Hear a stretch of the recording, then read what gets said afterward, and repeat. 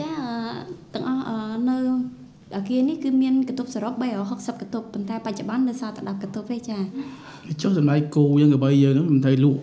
នៅក្នុងនេះគេមិនឲ្យបញ្ចាំបានតែលក់មកទិញនេះនៅចាចាត្រូវឲ្យពូមិញនៅនេះគេឲ្យចិញ្ចឹមសត្វទេសំបីតាសត្វឆ្កែឬក៏សត្វឆ្មាទូចមួយក៏ឲ្យចិញ្ចឹមដែរ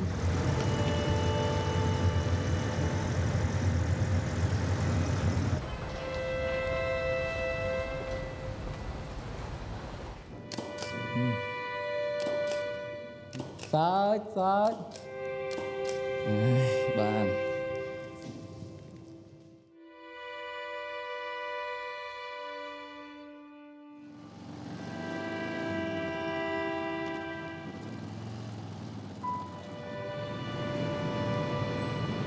បងឯង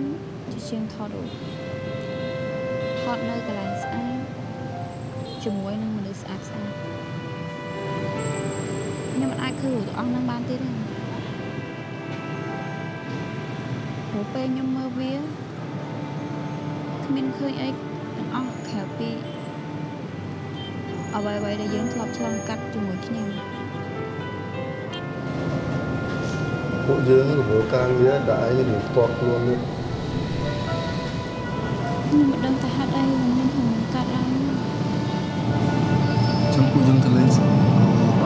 នឹងចោលកាប់បោះសុតហើយ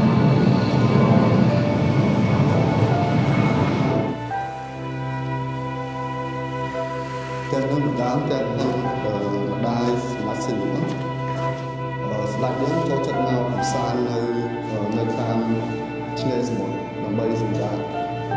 ព្រោះនៅពេញថាគាត់មានអារម្មណ៍អបសក់អីហ្នឹង